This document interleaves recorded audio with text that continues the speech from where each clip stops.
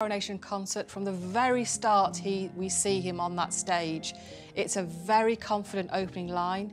He's confident to wait for the cheers as he opens his first lines. Good evening your majesties.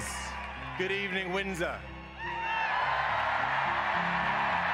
You know his timing is impeccable and it's very confidently delivered too so when Prince William is talking about service, particularly his father's service to the country over the last 50 years, we do see that confidence still, but we also see a slight determination and real focus as he talks about service.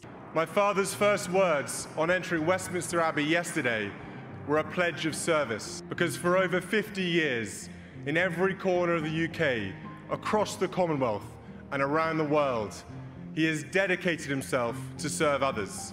You know, when we feel something strongly inside, it will often come out in our body language or our pitch, our tone.